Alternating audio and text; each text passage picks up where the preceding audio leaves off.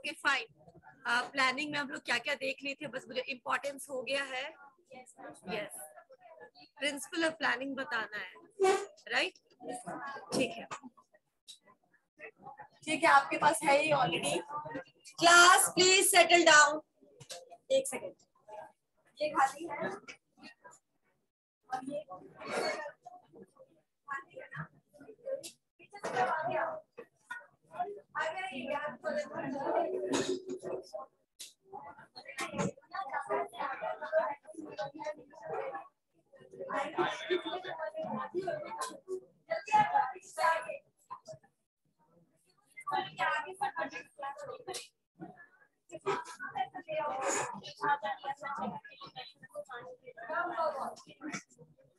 ठीक है थोड़ी देर में पूरा रूम ठंडा हो जाएगा पाँच छह चेयर आगे खाली आगे में ठीक है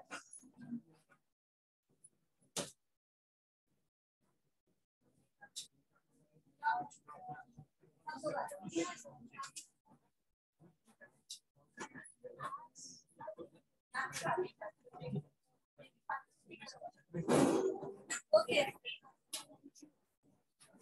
हो गया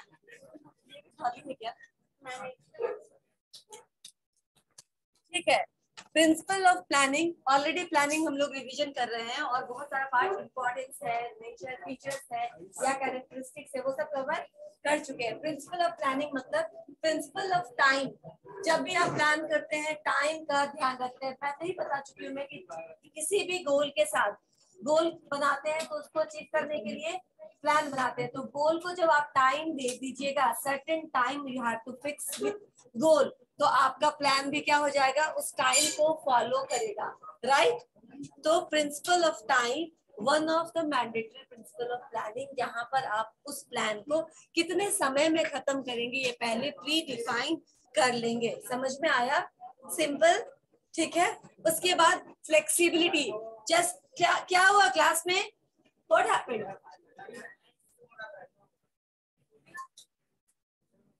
आगे भी खाली है। आगे भी खाली है तुम्हारे खाली है आगे। प्रिंसिपल ऑफ़ सेकेंड है principle of flexibility principle of flexibility का मतलब मैं बहुत बार बता चुकी हूँ।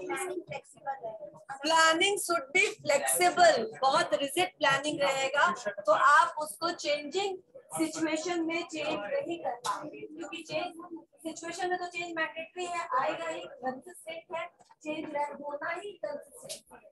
तो आपका प्लान उस चेंज को कैसे करेगा? इट शुड बी फ्लेक्सिबल अब फ्लेक्सिबिलिटी का मतलब क्या होता है? ये तुम अपना गोल बार बार चेंज करो क्लास व्हाट हैपेंस पढ़ना है नहीं पढ़ना है पढ़ना है कि नहीं पढ़ना है तो आप पिन ड्रॉप साइलेंस चाहिए मुझे ठीक है वरना मैं बहुत रही ठीक है? प्रिंसिपल ऑफ़ फ्लेक्सिबिलिटी मतलब होता है your plan should be flexible so that जो सिचुएशन आएगा आपके पास चेंज सिचुएशन उसमें आपका प्लान फिक्स कर जाए, उसमें भी एडप्ट कर जाए। एडप्ट करने का मतलब है सिंपल ये मतलब नहीं होता कि आपका गोल अलग अलग आप बनाते रहिए। फिर वो क्या हो गया? फिर कहीं कंसिस्टेंसी ही नहीं रह जाएगी ये तब फ्लेक्सिबिलिटी की ज़रूरत पड़ती है जब आपका सिचुएशन चेंज हो गया है आपने जिस सिचुएशन के लिए प्लान बनाया था वो सिचुएशन ऑलरेडी टर्न अप हो चुका है तो आपको अपना प्लान भी चेंज करना पड़ेगा तो उसमें इतना ज़्यादा स्कोप हो कि आप उसको चेंज कर सके on the basis of the change which occurred in the situation right वैसे सिचुएशन में आप कैसे अपने प्लान को फ्लेक्सिबल बनाते हैं? समझ में आया? बिल्कुल रिजिड नहीं होना है, नहीं तो क्या हो जाएगा कि रिजिड अगर रहेंगे आप तो या तो वो सक्सेस होगा, या फिर बहुत बुरी तरीके से फेल हो जाएगा। बीच में कहीं कोई एडजस्टमेंट या अकोमोडेशन नहीं होगा। क्या हुआ पीछे? क्या बता रही हूँ? क्या बता रही हूँ? मेरी आवाज़ आ रही है? क्या बता रही हूँ? बताओ। किस प्रिंसिपल पे थे अभी? यस कौन सा प्रिंसिपल बता रही हूँ इसमें से मैं? क्या है second number principle of flexibility क्या बताया मैंने? प्लान शुड बी फ्लेक्सिबल यानी कि with changing situation with changing scenario your plan should adopt that changes into itself right next क्या है? Principle of policy framework simple है पॉलिसी फ्रेमवर्क यानी whatever policies internal policies और external policy internal policy समझ में आ रहा है? ऑर्गेनाइजेशन द्वारा बनाया गया एक्सटर्नल पॉलिसी जो एक्सटर्नल फैक्टर्स ने आप पर इम्पोज किया है, जैसे गवर्नमेंट ने आप पे कोई इम्पोज किया फाइनेंस डिपार्टमेंट ने आप पे कुछ इम्पोज किया एक्सटर्नल मैं फिनेंस डिपार्टमेंट यानी फिनेंस मिनिस्ट्री की बात कर रही हूँ राइट तो जो कॉमर्स या फिर जो मार्केटिंग है, उसकी जो एक्सटर्नल पॉलिसीज़ है, जो आपके ऊपर इंप्लीमेंट होते हैं तो आपके जो भी प्लान है, उस पॉलिसी फ्रेमवर्क के अंदर होने चाहिए। यानी कि अगर कोई गवर्नमेंट का पॉलिसी क्या हो गया मुझे इतना अनरेस्ट पसंद नहीं है क्लास में आपको एंडर ठीक है?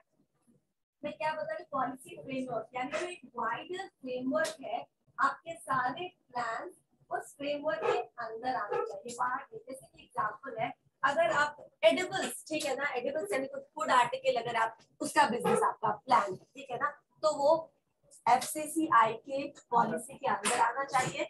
उस पे मेंशन होना चाहिए कि कब उसका कितना उसका सेल्फ टाइम है, कितना इसके बाद वो एक्सपायरी हो जाएगा। अगर उस पे ग्रीन और रेड डालना ज़रूरी है just to indicate veg and non veg तो वो आपको फॉलो करना पड़ेगा। तो आप समझिए आपके प्लान उस वाइडर जो पॉलिसी है कुछ आर्टिकल्स को बेचने के लिए आपको सर्टेन पॉलिसीज़ दिए गए गवर्नमेंट की तरफ़ से, जो फॉलो करने चाहिए। वो फॉलो करेंगे तभी वो प्लान एग्जीक्यूट हो पाएगा। तो आपके प्लान पॉलिसीज़ के अगेंस्ट नहीं जा सकते हैं। बल्कि उस पॉलिसीज़ के अंदर आने चाहिए। तो पॉलिसी भी एक तरह का प्लान ही है, जो आपके लिए गाइड का काम करता है, जो आपके लिए इंस्ट्रक्टर का काम करता है, जो आपको डायरेक्ट करता है।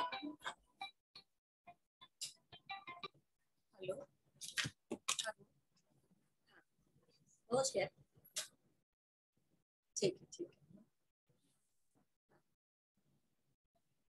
हाँ कोई बात नहीं, ठीक है ठीक है ठीक है ठीक ओके तो ये समझ में आया? प्रिंसिपल ऑफ़ पॉलिसी यानी जो वाइडर आपका फ्रेमवर्क है, वो भी एक तरह का प्लान है, जो आपको क्या करता है? गाइड करता है इंस्ट्रक्ट करता है कि आपको कैसे कैसे चलना है, ठीक है ना? तो policies are for long term policies are normally standing plan जो लंबे समय के लिए होता है। स्टैंडिंग प्लान अब समझ में आ रहा है ना? और सिंगल यूज़ प्लान का मतलब? वन टाइम यूज़ यस उसका एक आठ बार यूज़ करेंगे, आप उसको रिपीटेडली यूज़ नहीं कर सकते। तो पॉलिसीज़ आर स्टैंडिंग प्लान जो लंबे समय तक एग्जिस्ट करता है और हर प्लान को पॉलिसी के अंदर आना चाहिए, वो उसके अगेंस्ट या उसके कॉन्ट्राडिक्टरी नहीं हो सकता है। समझ में आया? ठीक है। Next principle of limiting factors ये आप लोग बता सकते हैं, ये सब हम डिस्कस कर चुके हैं। ये जस्ट की प्रिंसिपल है, कहीं पे फीचर्स में है, कहीं पे इंपॉर्टेंस में है। What is the principle of limiting factors whatever the constants उस दिन भी हम लोगों ने लिमिटिंग फैक्टर की बात की थी, याद है? जो कॉन्स्टेंट्स है, जिस चीज़ का अभाव है, उसको आप क्या करेंगे? पहले कंसीडर करेंगे प्लान बनाते समय। ये है, आप अगर सक्सेसफुली कोई प्लान बनाना चाहते हैं तो आपको ये सारे प्रिंसिपल को फॉलो करना चाहिए राइट तो ये कौन सा हो गया? जो लिमिटिंग फैक्टर यानी जो आपके पास कम है, जो आपके पास स्कार्स है, पहले आप उसके लिए प्रोविज़न कर लीजिए। देन आप उस प्लान को कैसे रन करेंगे, कैसे एग्जीक्यूट करेंगे, इसके बारे में सोचिए। सब first of all what is required to be addressed जो कम है। ठीक है ना, जो लिमिटिंग फैक्टर के रूप में काम कर रहा है। क्योंकि कभी कभी टाइम लिमिटिंग फैक्टर हो जाता है कभी कभी रिसोर्सेस लिमिटिंग फैक्टर हो जाते हैं कभी कभी फाइनेंस लिमिटिंग फैक्टर हो जाता है कि आप नहीं कर सकते हैं। तो जो आपको लिमिट कर रहा है, यानी जो आपके प्लान को आगे नहीं बढ़ने देता है, उन रिसोर्सेस को पहले आप क्या करेंगे? एड्रेस करेंगे। फिर आपका प्लान क्या होगा? अच्छे से बन पाएगा फॉर्मुलेट हो पाएगा। Next and last is the principle of selection of best alternative यानी कि जब आप लिमिटिंग फैक्टर पे ध्यान देंगे राइट तो आपको पता चलेगा, चलो ये हम नहीं कर सकते क्योंकि हमारे पास ये रिसोर्सेज नहीं है। तो क्या करेंगे विल फाइंड आउट ऑल्टरनेटिव ठीक है? और क्या क्या ऑप्शन है? समझ में आया? और क्या क्या ऑप्शन है तो हम कर सकते हैं अच्छे से विद द अवेलेबल रिसोर्सेज जो रिसोर्सेज है, उसके मदद से हम और क्या क्या काम कर सकते हैं। Then comes the generation of option या फिर ऑल्टरनेटिव जो भी है, आप उसको जनरेट करेंगे आउट ऑफ़ दोज ऑल्टरनेटिव जो उस समय में, उस सिचुएशन में, उस रिसोर्सेज के हिसाब से सबसे एप्ट होगा, उसको आप चुनेंगे राइट तो प्लान बनाते समय कभी भी एक प्लान नहीं होता है। हमेशा हमारे दिमाग में तीन चार ऑप्शन होते हैं। Then we finalize then we make decision जो आपने चुन लिया that becomes the final decision right तो ये प्रिंसिपल्स है। इसमें कोई कंफ्यूजन है तो पूछो। कोई कंफ्यूजन है? अभी तक इंपॉर्टेंस ऑफ़ प्लान समझने में फीचर्स ऑफ़ प्लानिंग समझने में या प्रिंसिपल ऑफ़ प्लानिंग समझने में? नहीं? ठीक है। अगेन कौन कौन से हाँ, मुझे क्यों लग रहा है कि मैं ये आपको बता चुकी हूँ? नहीं ना शायद दोबारा बता रही इसलिए मुझे लग रहा है। Okay so factors what are the factors important for planning ठीक है फॉर मेकिंग इफ़ेक्टिव प्लान सबसे पहले क्या है? रिलायबल फैक्ट्स ऑलरेडी हम इसका एग्ज़ाम्पल दे चुके हैं कि गवर्नमेंट ऑफ़ इंडिया अगर कोई पॉलिसी बनाती है, अगर कोई फाइव ईयर प्लान बनाती है तो that is based on consensus right वो जनगणना पे बेस्ड होता है। और अगर वो जनगणना का रिपोर्ट ही गलत हो राइट? किसी ने किया नहीं हो सबने अपने मन से कुछ भी भर करके जमा कर दिया हो। तो ऑब्वियसली वो क्या होगा? वो जो उसके बेसिस पे गवर्नमेंट जो फाइव ईयर प्लान बनाएगी वो फॉल्टी प्लान होगा। समझ में आया? यानी कि अगर इफ़ेक्टिव प्लान चाहते हैं तो आपका जो बेस हो वो रिलायबल फैक्ट्स हो। रिलायबल फैक्ट्स कहने का मतलब है रिलायबल का मतलब भरोसेमंद ठीक है ना? ट्रूथफुल राइट जो कि सच में है एंड फैक्ट्स मतलब तथ्य या या तो वो डेटा के बेसिस में होगा, या वो डिटेल के बेसिस में होगा, या वो फैक्ट्स के बेसिस में होगा, वो किसी क्वालिटी के बेसिस पर होगा क्वांटिटी के बेसिस पर होगा। कोई भी फैक्ट्स है नंबर फॉर्म में हो सकता है, या फिर क्वालिटी फॉर्म में हो सकता है अच्छा खराब, ज़्यादा कम राइट लेकिन क्या होना चाहिए, वो रिलायबल फैक्ट्स यानी कि वो ट्रस्ट वर्दी सोर्स से डेवलप फैक्ट्स पर जब आप प्लान बनाते हैं तो प्लान इफ़ेक्टिव प्लान होगा। समझ में आया? क्लियर हुआ ये फैक्टर्स रिलायबल फैक्ट क्यों ज़रूरी है प्लान करते समय? आप आप ही कहीं पर कोई बिज़नेस स्टार्ट करना चाहते हैं। तो आप देखेंगे ना कि उस एरिया में क्या ऑलरेडी और कॉम्पिटिटर्स हैं? अगर हैं तो कितने? ठीक है ना? सेम अगर बहुत ज़्यादा है ऑलरेडी मशरूम की तरह बहुत ज़्यादा है तो फिर कोई फ़ायदा नहीं है उस मार्केट एरिया को पेनिट्रेट करने का। देन आप कोई दूसरा लोकेशन ढूंढेंगे जहाँ आप जा सकते हैं। समझ में आया? क्लियर है? तो ये फैक्ट कैसे कैसे आप इस कंक्लूजन पे आएँगे कि ये बिज़नेस मुझे करना चाहिए या नहीं करना चाहिए इस एरिया में? After collecting data from that particular location वो डेटा क्या हो जाएगा?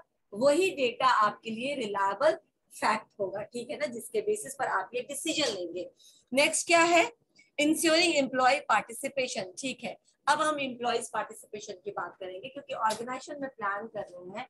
तो इम्प्लीमेंट क्या करेंगे? ऑर्गेनाइजेशन में ही करेगा और कौन करेगा? ऑब्वियसली ऑर्गेनाइजेशन में काम करने वाले लोग। अगर हमने उनको पार्टिसिपेट करने का मौका दे दिया पार्टिसिपेट करने का मौका देने का क्या मतलब होगा?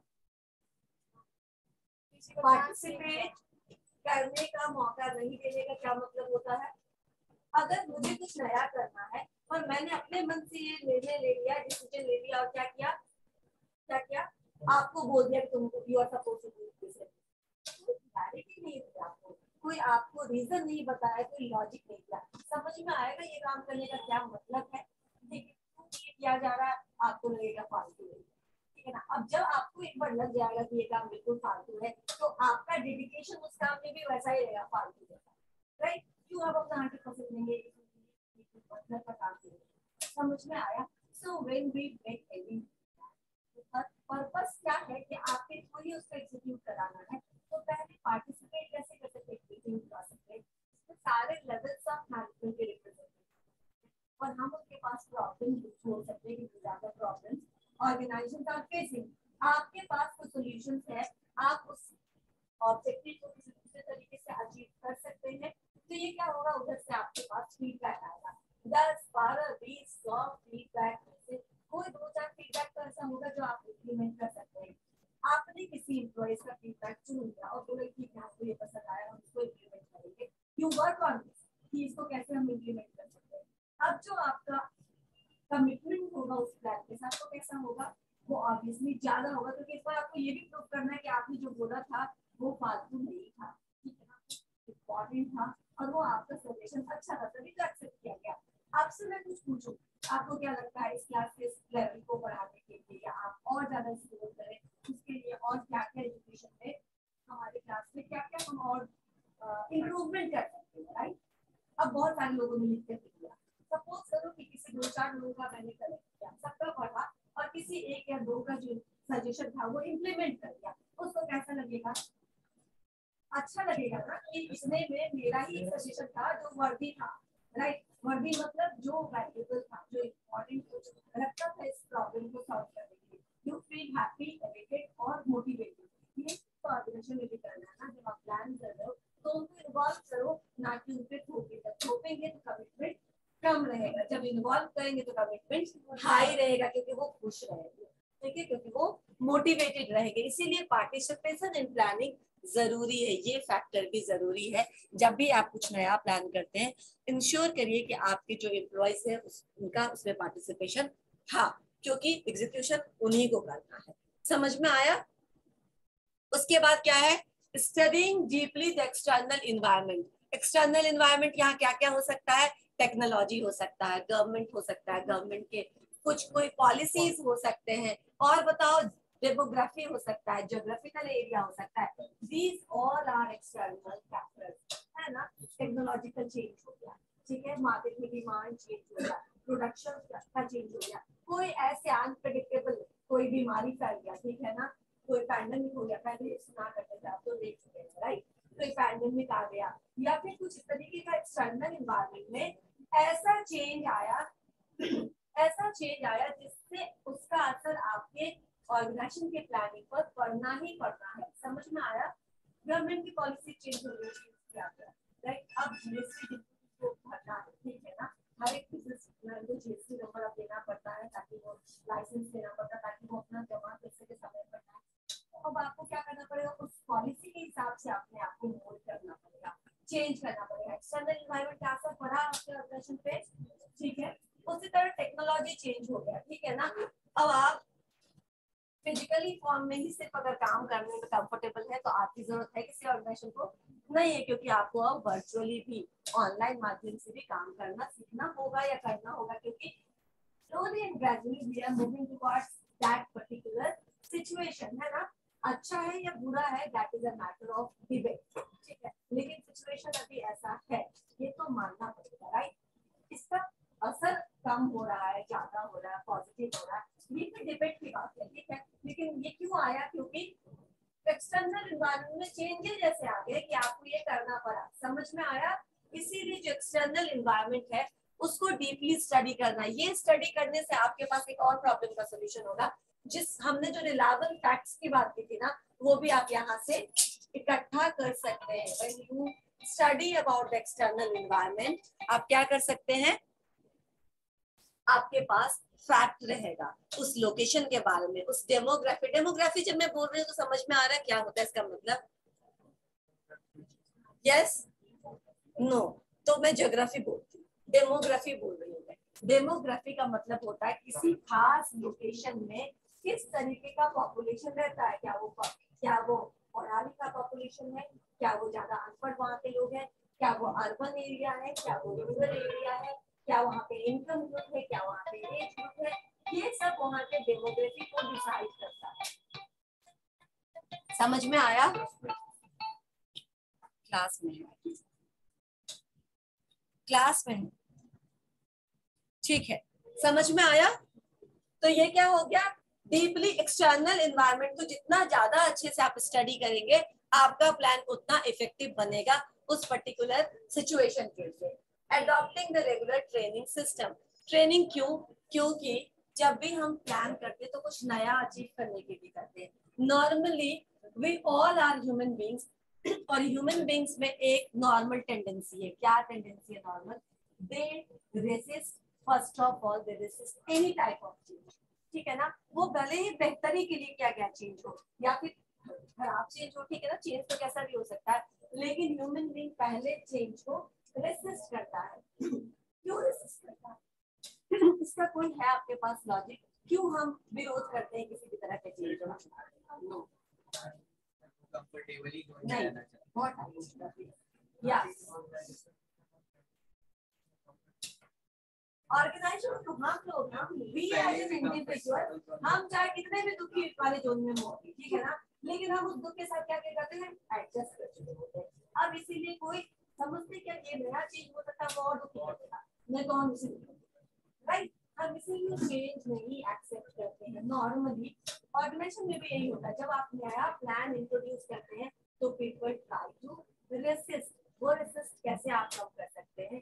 ट्रेनिंग और वो ट्रेनिंग दो बेसिस पर हो सकता है। या तो आप काम सिखा दीजिए, उनको तो रेसिस्ट करना बंद करेंगे नया मशीन लेकर आएँगे ना तो नया मशीन को कैसे ऑपरेट करते हैं ये पहले ठीक है आपको डीमोनेटाइजेशन करना है ना तो कैसे हम डिजिटल डिजिटल इकोनॉमी को कैसे हम सिक्योर कर सकते हैं और डिजिटली कैसे पैसा ट्रांसफ़र कर सकते हैं, कैसे हम इकोनॉमिक ट्रांजेक्शन कर सकते हैं? पहले ये ट्रेनिंग देखिए ना रेजिस्टेंस देखिए अपने आप को समझ में आया? रेजिस्टेंस क्यों है?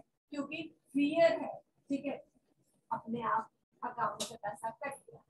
फियर है कि कोई फिनेंशियल सिक्योरिटी नहीं है इतना हार्ड एंड मनी था अकाउंट में और पैसा किसी ने उड़ा दिया राइट हम सीधे साधे लोग समझे नहीं कोई एक पसंद आया कोई एक मैसेज आया उसको कैसे नया पैसा कट गया तो जब आप डिजिटलाइज डिजिटलाइजेशन करना चाहते हैं इकोनॉमी का तो पहले क्या है अवेयरनेस क्रिएट करिए पहले उनको नॉलेज दीजिए उसको ऑपरेट करेगा और फिर करिए देखिए अपने आप रेजिस्टेंस क्या होगा चेंज हो जाएगा तो या तो आप टेक्नोलॉजी को एजुकेट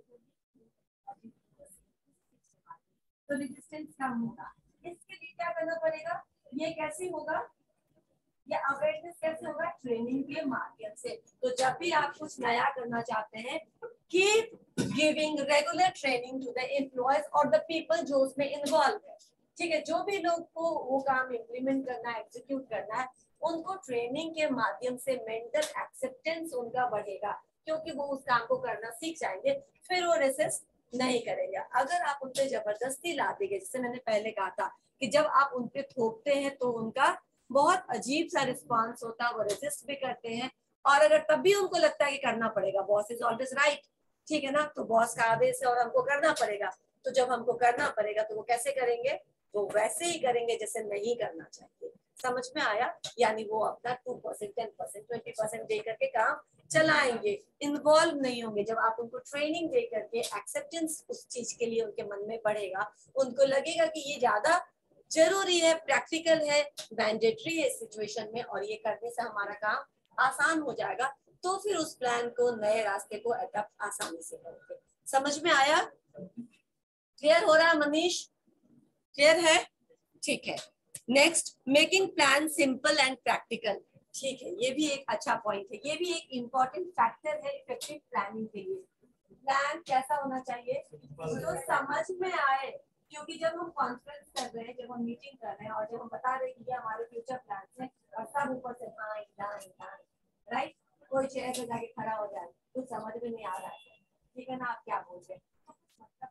मतलब यानी आपके प्लान स्टेप बाय स्टेप होने चाहिए सिंपल होने चाहिए अंडरस्टैंडिंग होनी चाहिए तो वो से समझ जाए इंटेलिजेबल होने चाहिए। क्योंकि वैसे प्लान शुरू में ही बहुत कॉम्प्लेक्स लगते हैं। पहले ही मन खट्टा ये सुनने में इतना भारी लग रहा है, करने में इतना भारी। समझ में आया इसीलिए प्लान कैसे होने चाहिए? बिल्कुल सिंपल होना चाहिए इंटेलिजिबल होना चाहिए, जो समझ में आ जाए लोगों को। स्टार्टिंग वैसी होनी चाहिए, ठीक है धीरे धीरे वो कॉम्प्लेक्स होगा, लेकिन initially it look simple it sound simple और ये लगना चाहिए कि हाँ इसको हम इम्प्लीमेंट कर सकते हैं, और इम्प्लीमेंट करेंगे तो ये सक्सेसफुली हो सकता है। इसीलिए प्लान और प्रैक्टिकल क्यों होना चाहिए? क्योंकि प्लान तो कुछ भी बना सकते हैं राइट जैसे कि एग्ज़ाम्पल तो प्लान कुछ भी हो सकता है कुछ भी सोच सकते हैं। सोचो ना कितना वियर्ड आप सोच सकते हैं। यहाँ ताजमहल बनाने का ये भी प्लान हो सकता है लेकिन इज़ इट पॉसिबल ये आपका ज़मीन नहीं है राइट ये लीज पे लिया गया सिर्फ़ वाला किराया के लिए जगह है यहाँ पे आप ताजमहल कैसे बना सकते हैं? इसके लिए बहुत सारे आपको डॉक्यूमेंटेशन कंसिडर करना पड़ेगा। आप प्लान भी कर सकते हैं, लेकिन जब तक प्लान प्रैक्टिकल नहीं होगा, तब तक होगा सिर्फ़ आपके दिमाग में या प्री डिस्पोजिशन अभी पुलाव ही रह जाएगा राइट आप उसको इम्प्लीमेंट नहीं कर पाएँगे। इसीलिए प्लान प्रैक्टिकल होना ज़रूरी है, जिसको आप रियल लाइफ में रियलाइज़ कर सके ट्रांसफॉर्म कर सके या फिर उसको कर सके। समझ में आया? ये क्या था? फैक्टर्स फैक्टर्स अफेक्ट अब देखो principle factors importance and characteristic सब बहुत मिलता जुलता है अब मुझसे कोई बच्चा पूछा था मैम कैसे डिफ्रेंशिएट करें भूल जाते हैं कंफ्यूज हो जाते हैं सिंगल वन पॉइंट इसी में कुछ भी ठीक है ना इंपॉर्टेंस में तुम प्रिंसिपल लिखो बट प्रिंसिपल मत लिखो when you write down the importance just अब time frame importance of time importance of external environment आप ऐसे करके वहाँ प्रिंसिपल नहीं लिखो नहीं तो वो आप पूरा कंफ्यूजन हो जाएगा, ठीक है? तो प्लानिंग के बारे में तो बताया है हो सकता है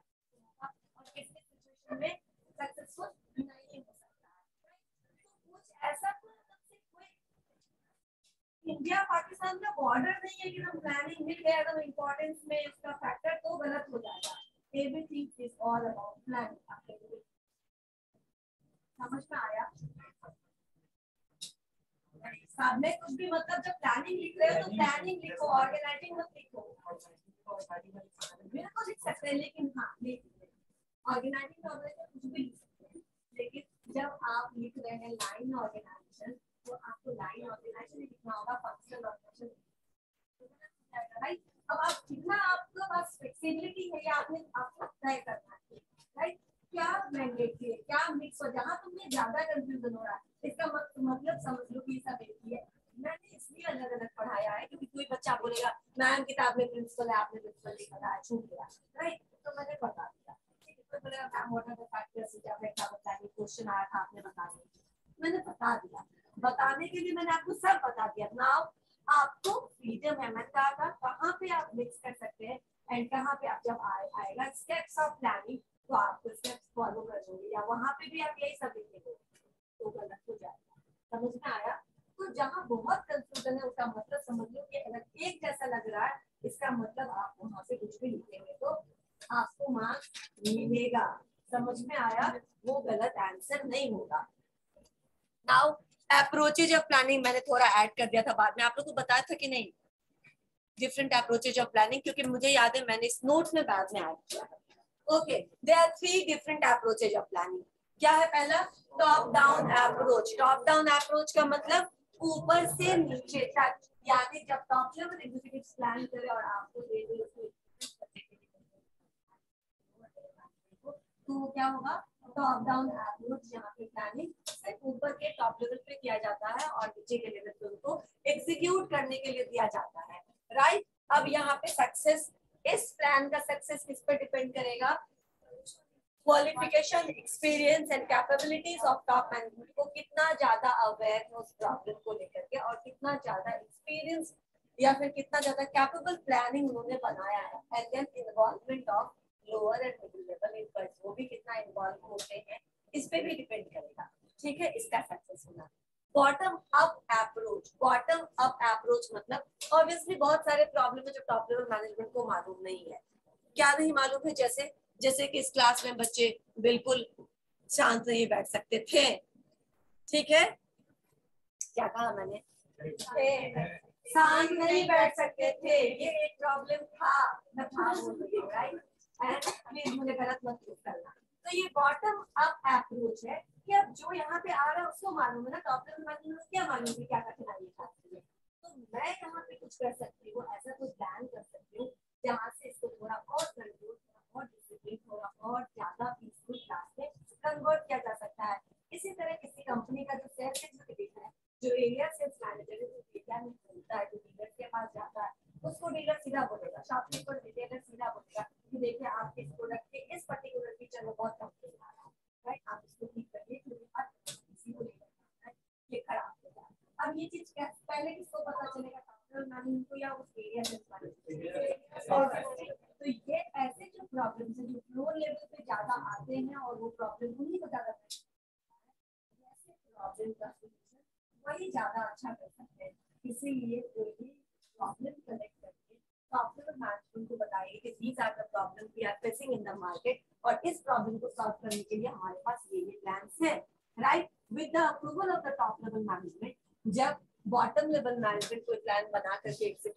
है जिसको हमने फंक्शनल प्लान कहा ऑपरेटिव प्लान कहा तो इस प्लान को हम क्या इस अप्रोच को अप्रोच यानी बॉटम में प्लान बनाया गया अप्रूवल टॉप से लिया गया और अब इसको इम्प्लीमेंट किया गया। समझ में आया? ठीक है। एंड कंपोजिट कंपोजिट का मतलब क्या होता है? क्या कंपोजिट का मतलब? कंपोजिट वर्ड का मतलब बताओ मुझे बस। कंपोजिट मिक्स्ड राइट कंपोजिट मतलब मिक्स्ड यहाँ पे क्या हुआ?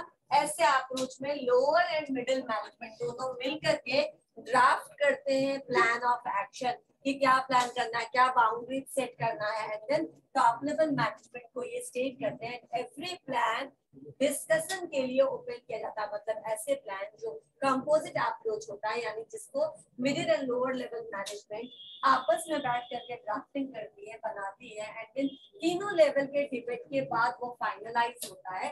This is known as composite approach ठीक है ना? मिक्स्ड अप्रोच और मिक्स्ड अप्रोच के बाद है टीम अप्रोच जिसमें एम्प्लॉयज़ को भी आप इन्वॉल्व करते हैं। Along with the different levels of management, you also involve employees and then as a team, आप किसी प्रॉब्लम को सॉल्व करने के लिए कोई प्लान बनाते हैं तो उसको हम टीम अप्रोच कहते हैं। ठीक है? क्लियर हुआ? क्लियर हुआ? तो these are the different approaches of planning सही है? अब इसके बाद क्या होगा? Simple process of planning process of planning planning में क्या क्या है? सबसे पहला point being aware of opportunity being aware of opportunity का मतलब? अपने इन्वायरमेंट जो आप स्कैनिंग करते हैं ना इन्वायरमेंट को जो आप स्कैन करते हैं when you are deeply studying the external environment क्या कर रहे होते हैं यही तो इस समय में कौन सा ऐसा बिज़नेस है? कौन सा ऐसा आइडिया है जो क्लिक कर सकता है? समझ में आया? आप अब जब इन्वायरमेंट की स्टडी करते हैं तो आप अवेयर होते हैं अवसर के बारे में कि क्या क्या अवसर है। किस आइडिया के लिए अभी बहुत उचित अवसर है और अगर अपना भी इस पर काम किया तो अभी क्लिक कर सकता है। राइट यानी कि being aware of opportunity whatever opportunities are there, and the opportunities are always ये आप लोगों ने सुना होगा मेरे ख्याल से किसी ने किसी क्या हो गया मुझे? Swatch analysis right strength and weakness strength and weakness internal opportunities and threat external class what happen क्या हो गया? तुम्हें बहुत प्रॉब्लम है बोलने का। सीरियसली अकेले में बैठाऊँगी तुमको। मैं समझ में आया? अपॉर्चुनिटी एंड थ्रेट क्या है? एक्सटर्नल इसका मतलब क्या? आपके अंदर भी अगर हम इंडिविजुअल की भी बात करें तो स्ट्रेंथ एंड वीकनेस किसमें है? आपके अंदर है। ठीक है ना? कोई चीज़ें हैं जो आप में बहुत स्ट्रांग पॉइंट है ठीक है ना? और कुछ चीज़ें जो आप में बहुत वीक पॉइंट है। ठीक है ना? अब now you have to analyse कि क्या कम है क्या कहाँ पे हम वीक है और कहाँ पे हम बहुत स्ट्रांग है। समझ में आया? तो ये इंटरनल होता है। ऑर्गेनाइजेशन में भी, इंडिविजुअल में भी। Strength and weakness are internal things, right? जिसको आप और ज़्यादा ऑप्टिमाइज कर सकते हैं। अगर कोई आपका स्ट्रांग एरिया है तो उस पर और ज़्यादा काम करके उस पर और ज़्यादा एक्सपर्टीज कर सकते हैं। वीकनेस है तो इसको कम करने की कोशिश कर सकते हैं। समझ में आया? ठीक है। अपॉर्चुनिटीज़ एंड थ्रेट, ये आपके बस में नहीं है, राइट? पैंडेमिक आएगा कि नहीं आएगा, ये थ्रेट आएगा कि नहीं आएगा, ये किसी कंपनी के बस की बात थी नहीं, ये तो एक्सटर्नल एनवायरमेंट पे डिपेंड किया ना, ये आपके कंट्रोल में नहीं है, यानी ये आपके बस के बाहर की चीज़ें एक्सटर्नल है अपॉर्चुनिटीज़ यानी कि इसी अवसर में आपने अपने लिए कुछ अपॉर्चुनिटीज़ ढूंढ लिए। दैट मीन्स ये भी आपके अंदर का नहीं था, ये भी एक्सटर्नल एनवायरमेंट में था, लेकिन कुछ लोगों ने ऐसा किया, उसको पहचान लिया। समझ में आया? उस कुछ लोग ने ऐसा किया कि वो अवेयर हो गए उस अपॉर्चुनिटी के बारे में, और बाकी के लोग क्या किए? बाकी के लोग कॉपी कैट कॉपी कैट का मतलब फॉलोअर ठीक है ना? कुछ लोग अर्ली बर्ड्स हो गए, सबसे पहले उनको वो प्रिविलेज मिला अर्ली बर्ड्स होने का यानी उस बिज़नेस को उस आइडिया को सबसे पहले क्लिक करने का तो उन्होंने मैक्सिमम प्रॉफिट कर दिया होगा, ज़्यादा अच्छा कैपिटल को होगा, उनका नाम ब्रांड स्टैब्लिश होता होगा।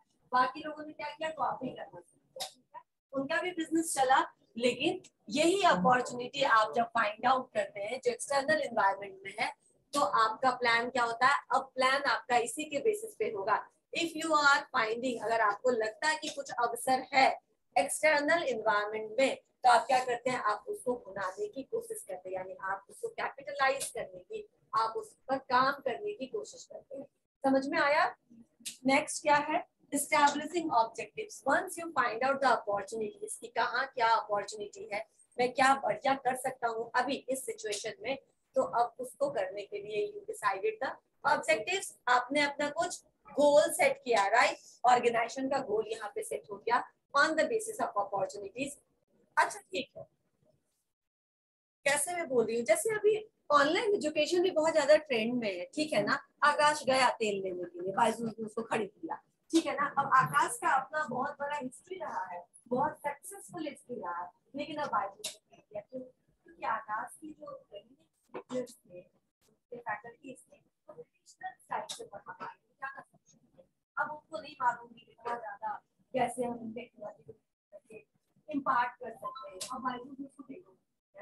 एरिया तो अब क्या है वो अपॉर्चुनिटी देखा ना? या फिर अभी तक क्यों नहीं आया था क्योंकि अभी तक आप लोगों में से कोई भी ऑनलाइन पढ़ने के लिए तैयार नहीं ठीक है ना नहीं समझ में आता राइट लेकिन अब उनको भी समझ में आ गया, जिनको नहीं समझ में आता था ऑनलाइन क्या कोई ऑप्शन भी तो नहीं है राइट अगर वापस से नेक्स्ट वेव आया तो फिर घर में बंद हो जाएँगे। तो कितना दिन तक अपने एजुकेशन को, अपने कैरियर को हम इस तरह से अवॉइड करते रहेंगे? तो आप भी जाएँगे ऑनलाइन के पास। अभी समझ में आ रहा है कि अपॉर्चुनिटी आया बाईजूस के सामने, उसने ऑब्जेक्टिव सेट किया क्या पूरा इंडिया में? ये छोड़ दो कि टेंथ इलेवन ट्वेल्थ ठीक है ना? बचपन से लेकर के व्हाइट हैट जूनियर ठीक है ना? घर बैठे कोडिंग सीखिए ड्राइंग सीखिए पेंटिंग सीखिए गिटार सीखिए सितार सीखिए, सब सीखिए घर बैठे। समझ में आया? अपॉर्चुनिटी कैसे उन लोगों ने कैप्चर किया, देखा? ठीक है? अब इसके बाद ऑब्जेक्टिव सेट किया कि अब अपॉर्चुनिटी मालूम है कि इसको ये करेंगे तो काम हिट होगा राइट उसके बेसिस पे आपने क्या किया? गोल सेट किया राइट ऑब्जेक्टिव स्टैब्लिश की। ऑब्जेक्टिव जब आप स्टैब्लिश करते हैं तो आप देखेंगे कि हमारे पास कितना कैपिटल है, कितना पूंजी है, कितना हमारे पास समय है, कितना हमारे पास ह्यूमन सपोर्ट है। इन सब चीज़ों को चेक करना रियलाइज़ करना प्लानिंग प्रीमिसेस को देखना होता है।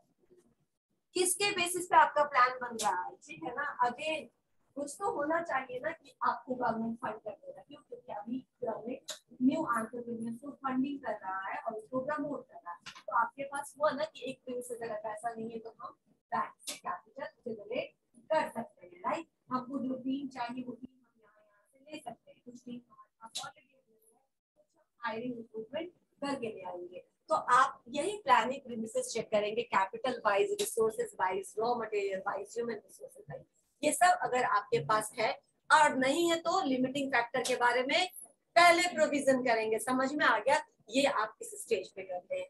देन अब आपके पास ऑब्जेक्टिव भी है अपॉर्चुनिटी आपने डिसाइड कर लिया ऑब्जेक्टिव है आपके पास। आपके पास क्या है और नहीं है, ये भी आपने प्लानिंग प्रीमिसेस में कंसीडर कर लिया। नेक्स्ट वर्ड और क्या क्या अवसर हो सकता है? अगर ये नहीं करूँगा या ये प्लान नहीं चलेगा तो मैं और क्या क्या कर सकता हूँ? समझ में आया? ऐसा थोड़ी ना है कि बाईस एकदम लॉकडाउन में आया था, वो तो उससे पहले आया था, लेकिन मार्केट नहीं पकड़ रहा था। ठीक है ना? मार्केट पकड़ा वो इस सिचुएशन में। इसका मतलब है कि और क्या क्या ऑल्टरनेटिव कोर्सेज है आप जो प्रोवाइड करा सकते हैं। ठीक है? आप उस ऑल्टरनेटिव के बारे में जो ऑप्शंस जनरेट करते थे हम प्लानिंग में, वो यहाँ पे ऑप्शंस आप जनरेट करेंगे। Once you have multiple options अगर आपके पास चार पाँच रास्ता है, ठीक है ना? यहाँ घर से यहाँ आने के तीन चार रास्ते तुमने एक्सप्लोर कर लिए तो फिर क्या देखते हो, इस रास्ते पे जाम नहीं रहता, इस रास्ते चलो, इस रास्ते में कम समय लगता है, इस रास्ते चलो। अब आप सारे रास्ते को कंपेयर करते हैं, तुलना करते हैं आपस में, और जो सबसे कम टाइम टेकिंग होता है, जो सबसे कम बिज़ी होता है, आपको जल्दी यहाँ तक ले आता है, और फिर खतरा भी नहीं उस रास्ते में। आप इस रास्ते को चुनते हैं तो अभी पहले चुनने से पहले क्या करते हैं डिफरेंट अल्टरनेटिव को कंपेयर करते हैं।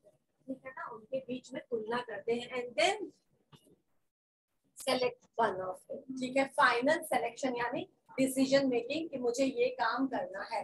समझ में आया? मैं ऊपर कर देती हूँ। Yes final selection of one of them क्योंकि सारे रास्ते पे तो जा नहीं सकते आप तो आप उसमें से कोई एक बहुत अच्छा जो रास्ता होता है उसको चुन लेते हैं right and then supporting plan supportive plan क्या होता है? व्हाट इज़ सपोर्टिव प्लान कोई एक्सप्लेन कर सकता है? नहीं नहीं नहीं, अभी वो फेल नहीं हुआ है। अभी वो है। Supportive plan is different plan supportive plan देखो, मैंने फिर से मैं बताती हूँ कि कभी भी एक जो तुम्हारा बड़ा लक्ष्य है ऑब्जेक्टिव है, वो एक छलांग में तो तुम अचीव करने वाले हो नहीं। तो जो टाइनी स्टेप्स हैं जो छोटे छोटे स्टेप्स है, जिसके हेल्प से आप पूरा वो सफ़र पूरा करने वाले हैं, वो छोटे छोटे स्टेप्स आपके सपोर्टिव प्लान है। ठीक है, ये एक महीने का प्लान ये पूरा हो गया, अब ये अगले एक महीने का प्लान ये पूरा हो गया। ऐसे जब सब छोटे छोटे सपोर्टिव प्लान आप बनाते हैं, जो सारे मिलते हैं एक ही डायरेक्शन में, जाते हैं एक ही गोल की तरफ़ लेकिन छोटे छोटे तो वो छोटे छोटे प्लान जो आपके बड़े प्लान को अचीव करने में आपको हेल्प करेगा that becomes your supportive plan clear ठीक है? And then after supportive plan what you did पहले आप फॉर्मुलेट करते हैं अब आप काम करना शुरू करते हैं implementing the plan and obviously implementing के बाद क्या? इम्प्लीमेंटेशन मतलब अब आप जितना सब कुछ अभी हो रहा था सब पेपर वर्क था। अब आप उसको फिजिकली इम्प्लीमेंट किए हैं। और इम्प्लीमेंटेशन के बाद क्या ज़रूरी है? उसके बाद देखना। फॉलो अप और रिव्यू है ना? प्लान सक्सेसफुली हो रहा है या डाइवर्ट कर गया या कहीं पे डेविएशन आ गया, ये आपको कैसे पता चलेगा? तो जब आप फॉलो अप करते रहेंगे प्लान इम्प्लीमेंट करके सो जाएँगे तो वही होगा जो बिहार में बाकी सारे प्लान का हो रहा है। ठीक है ना? यानी बनते हैं इम्प्लीमेंट होते हैं और फिर वो कहा जाते हैं किसी को पता नहीं। ठीक है? ये इम्प्लीमेंटेशन में फॉल्ट नहीं होता, ये फॉलो अप नहीं होने की होता। प्लान भी अच्छा है इम्प्लीमेंटेशन भी ठीक से किया लेकिन अगर आपने फॉलो नहीं किया तो वो आपका प्लान कभी भी फेल हो सकता है। क्योंकि पीपल उसमें कितने इन्वॉल्व है ये आपको पता नहीं चलेगा। और कोई प्लान पूरी टीम के सपोर्ट से ही एग्जीक्यूट और सक्सेसफुल हो सकता है। So these are different steps of planning यहाँ तक कोई कंफ्यूजन ठीक। हो गया। अटेंडेंस बना लेती हूँ।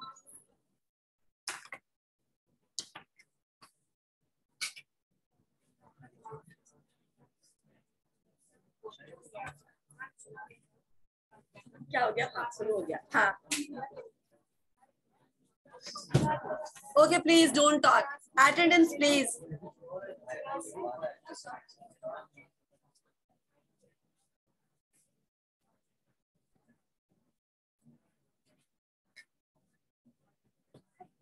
ये मेरा क्लास फ़र्स्ट क्लास है क्या?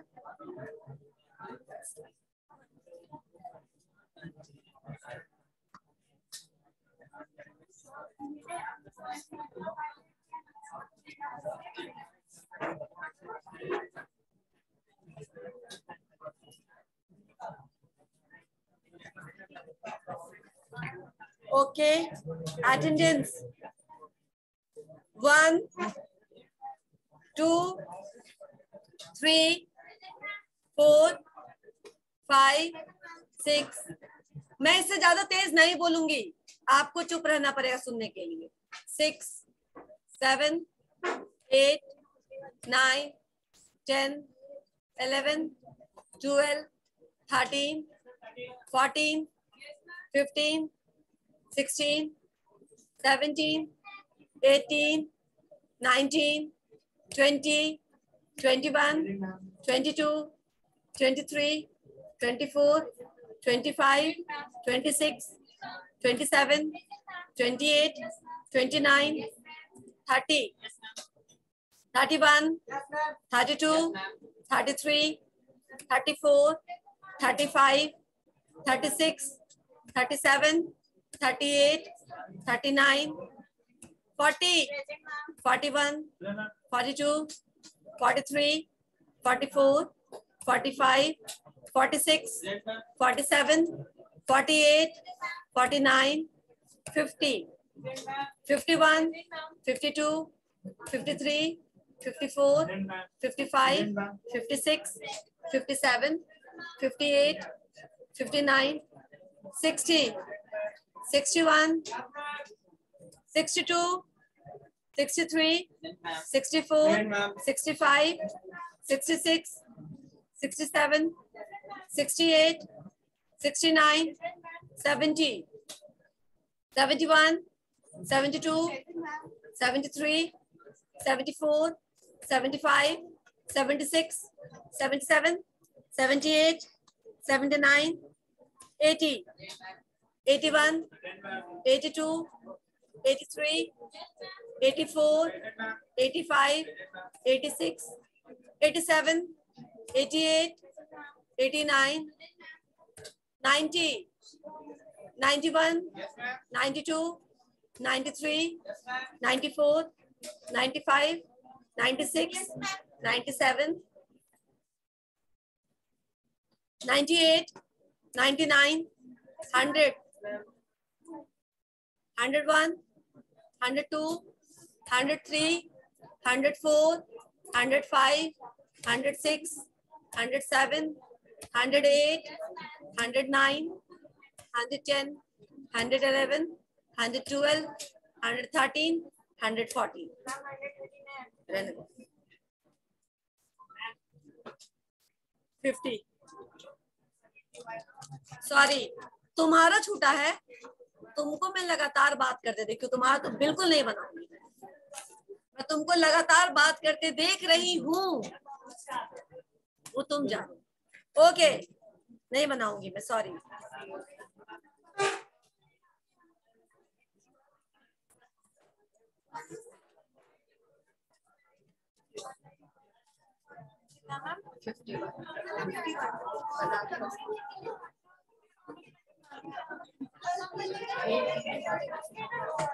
मैम देख रही है